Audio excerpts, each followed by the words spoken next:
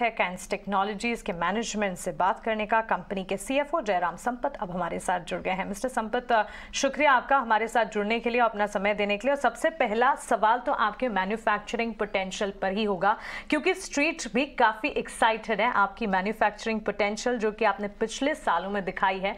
उसे मद्देनजर रखते हुए आने वाले क्वार्टर्स में किस तरह की ग्रोथ दिखेगी, वो समझने के लिए।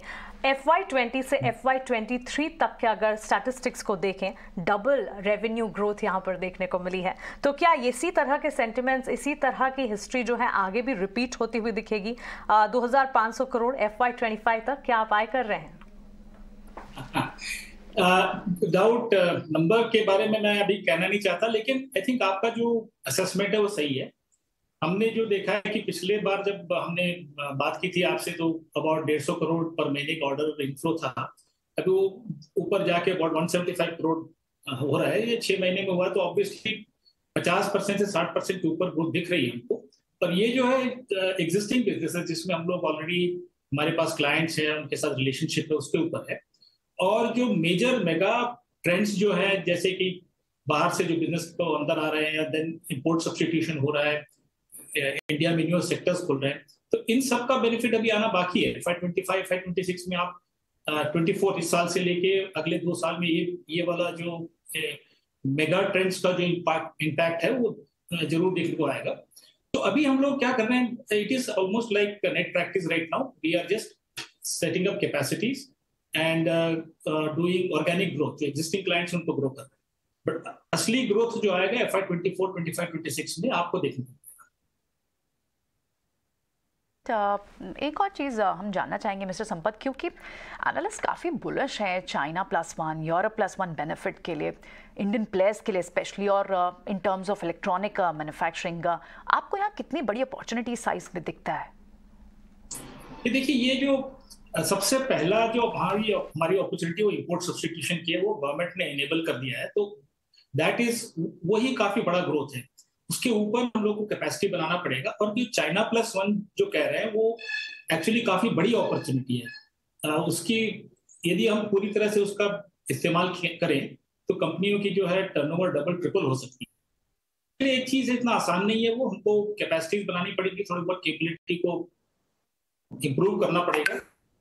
तो में इम्प्रूवमेंट लाना पड़ेगा। पहले जैसे कि एक फैक्ट्री हम एक साल में बनाते थे छह महीना तीन महीने में बनाना पड़ेगा।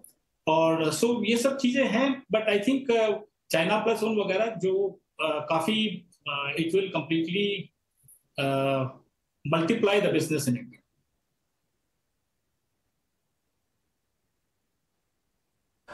sir एक चीज़ आपसे और समझना चाहते हैं uh, हालाँकि आप एक ऐसी कंपनी है जो कि सारे भारत के जो उभरते हुए सेक्टर्स हैं ना उससे कनेक्टेड है। आप एरोस्पेस से हैं आप ऑटो से जुड़े हुए हैं।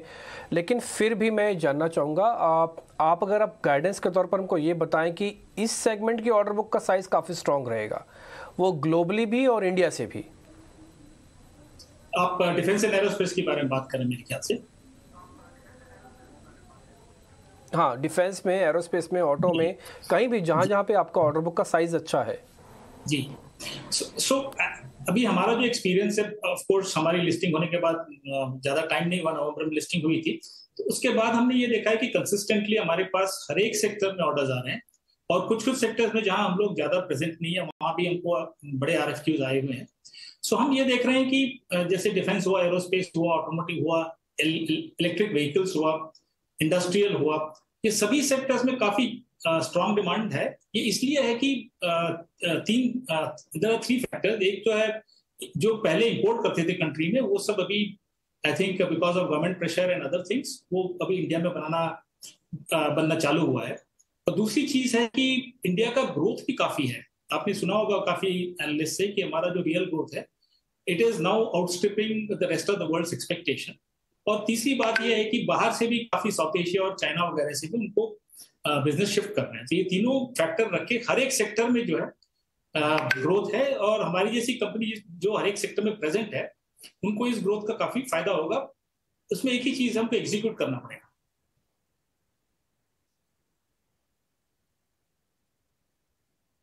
और राइट right. एक और सवाल आपसे ये जानना चाहेंगे कि आपके रीसेंट ऑर्डर इनफ्लो और क्लाइंट कॉन्वर्जेशन किस तरह के इस वक्त नज़र आ रहे हैं? क्या आपने कोई मेजर कस्टमर्स इस वक्त साइन किए हैं? कोई मेजर एक्विजिशन हैं जो आप आए कर रहे हैं? ऑर्डर बुक की स्थिति कैसी है? जी जी। सो so, एक्चुअली काम करने को काफ़ी है और जो एग्जिस्टिंग क्लाइंट से ऑर्डर बुक हमारा इस साल का जो भी हमने पिछली बार गाइडेंस दिया था वो तो ऑलरेडी ऑर्डर बुक में आ चुका है। और अभी पूरा एक साल बाकी है फॉर ऑर्डर सो इस साल डेफिनेटली हम एक्सीड करेंगे हमारे जो भी अर्लियर एक्सपेक्टेशन था। और बड़े क्लाइंट्स के हिसाब से दो तीन एरिया में हमारा काम चल रहा है। एक तो obviously in the medical sector industrial sector and also in the EV sector इन तीनों सेक्टर्स में हमको काफ़ी बड़े बड़े ऑर्डर्स की एक्सपेक्टेशन है जिसमें हमारा uh, जो एग्जिस्टिंग बिज़नेस है वो सिग्निफिकेंटली इंक्रीज होगा। एंड uh, दूसरी चीज़ ये है कि इस साल हम लोग uh, हमने हमारे प्रोस्पेक्टस में मेंशन किया था कि कुछ कुछ बैकवर्ड इंटीग्रेशन वगैरह करने वाले हैं तो उसमें भी हम काफ़ी प्रोग्रेस कर रहे हैं काफ़ी एफर्ट डाल रहे हैं ताकि एफ़ आई ट्वेंटी फाइव में कम से कम सेक्टर्स जैसे कि एटीएमपी हुआ जैसे कि बेयर पीसीबी हुआ वो सब भी हम लोग कुछ अच्छे तरीके से करेंगे। तो क्या होगा कि हमारा जो बिज़नेस है एक होलिस्टिक ग्रोथ रहेगा उसमें। क्वालिटेटिव ग्रोथ रहेगा not just manufacturing but it will be very very composite kind of a growth in our business right right, uh, लेकिन मिस्टर uh, uh, संपत क्योंकि बात uh, बार बार ये की जा रही है कि बाहर की कंट्रीज़ में चाहे भले ही माइल्ड स्लो डाउन हो माइल्ड रिसेशन हो लेकिन इकोनॉमिक ग्रोथ थोड़ी सी तो स्लो डाउन एंटिसिपेट की जा रही है।